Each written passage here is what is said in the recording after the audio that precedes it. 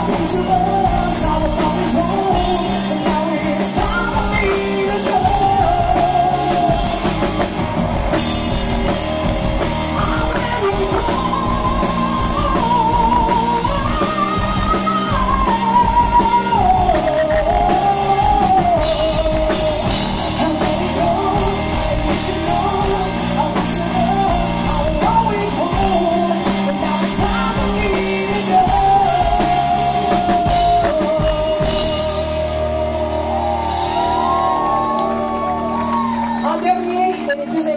Merci à vous les fans.